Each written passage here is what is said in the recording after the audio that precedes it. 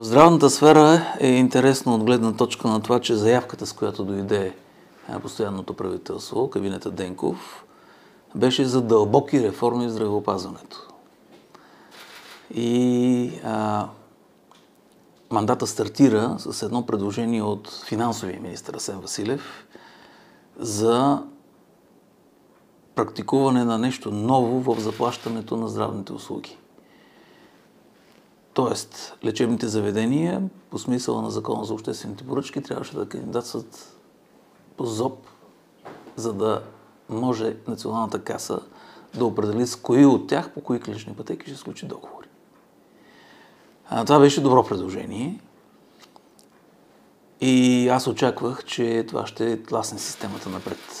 За съжаление, здравният министр отказа да се вземе с задачата и с този отказ констатацията, голямата рекапитулация е, че реформи няма да има. Не просто дълбоки реформи, реформи въобще няма да има. И това го виждаме отразено в бюджета за следващата година, който е исторически бюджет. Да, увеличава се, примерно в Националната каса с над милиард и 100 милиона се увеличава бюджет.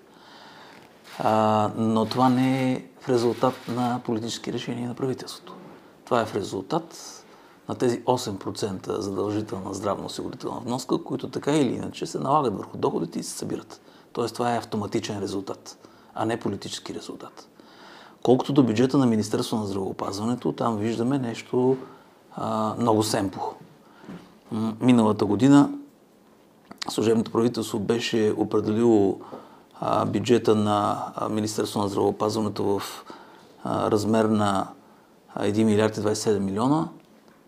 Настоящия министр Хинков допусна да бъде свален на 920 милиона за 23-та година.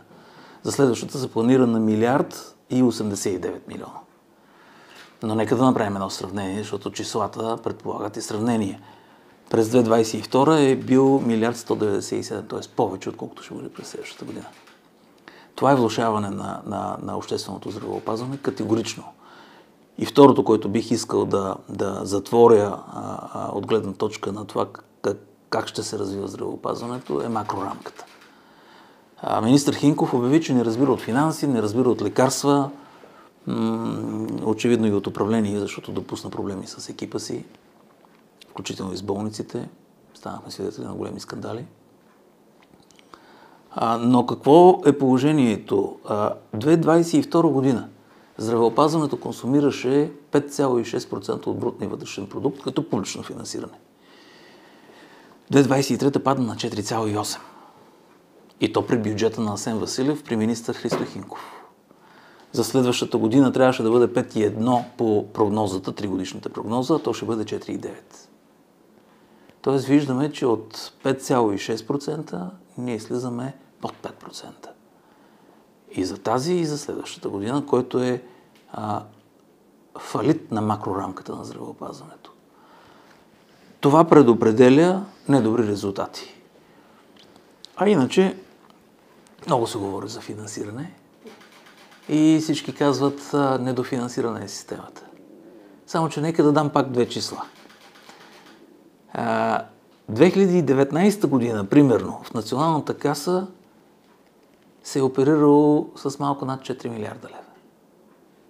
А следващата година с над 8 милиарда. Това е два пъти увеличение. Това не е в проценти, това е в пъти. Но не виждаме резултат.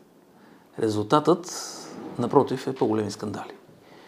И а, в този смисъл аз бих казал, а, обещанието на здравния министр, че ще направи наредба, с която ще устойности лекарския труд, без да се изпълни при този голям бюджет, е една пропиляна възможност. Ще бъде пропиляна и следващата година.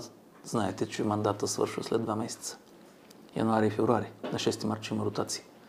Тоест, моята рекапитулация на този мандат на кабинета Денко, специално в здравеопазването, е провал.